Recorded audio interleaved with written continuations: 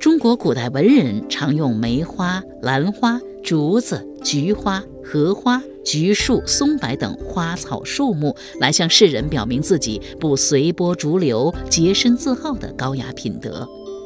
但是，北宋时期反对王安石变法的司马光，却在一首七言绝句中用葵花来表明自己的赤诚和对初心的坚持。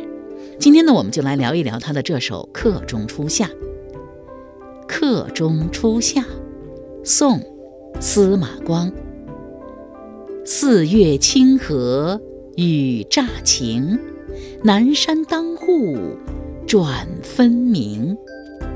更无柳絮因风起，惟有葵花向日倾。司马光是北宋著名的政治家、史学家、文学家。他在学术方面最突出的贡献，就是主持编纂了中国历史上第一部编年体通史《资治通鉴》。除了史学之外，司马光也曾深入钻研过文学、哲学、医学等领域，并且留下了不少著述。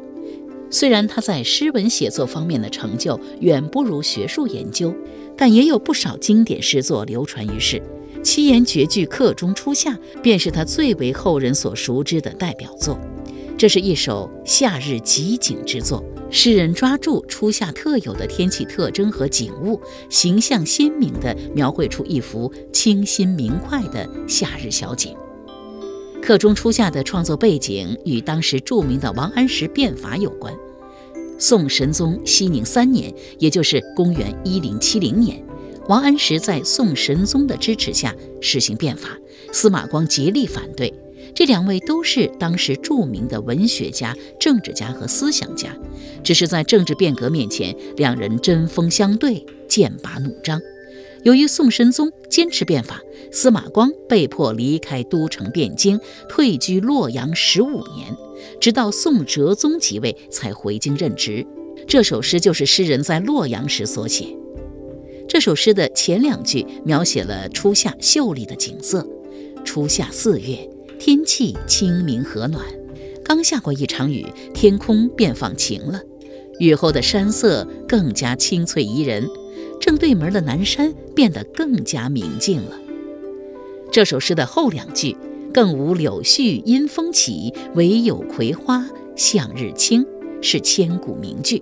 诗人运用对比的手法，一语双关，既写出了初夏柳絮散尽、葵花盛开的绚丽景色。更反映了诗人的一片赤诚之心。在这里，向阳绽放的葵花不仅是初夏的一种象征，其实更是寄托着诗人的志向。